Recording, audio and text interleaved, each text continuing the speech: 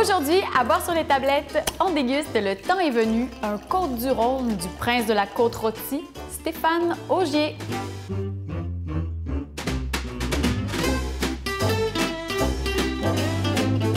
Ayant grandi dans les vignes pentues de la côte rôtie, Stéphane ne s'est jamais vraiment posé la question à savoir ce qu'elle est vinifier.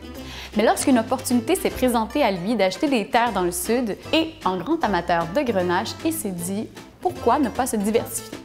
Selon lui, quand on a la chance d'avancer, on fonce. Le temps était donc venu d'explorer le sud. Il acquiert 20 hectares de vignes dans le Rhône méridional sur Plan de Dieu et Visan. Pour vous situer, ça se trouve un peu entre Châteauneuf-du-Pape et Gigondas. Contrairement à ces autres vins qui sont vinifiés à Ampuis, en face de ces vignes de côte le temps est venu est vinifié dans le sud, directement sur plan de Dieu. Au niveau de l'encépagement, la proportion reste habituellement sensiblement la même selon les millésimes, soit majoritairement du grenache assemblé avec de la syrah et un peu de mauvais de saint dans le mélange, mais ça reste vraiment minime.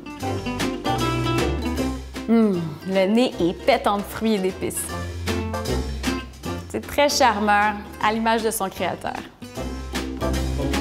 La bouche est mi-corsée, très souple et élégante, avec d'impressionnantes notes de sarriette, de romarin, framboise noire, de fleurs séchées comme la, violette et la lavande. Niveau accord, j'y recommanderais avec une tagine d'agneau ou euh, des poivrons grillés.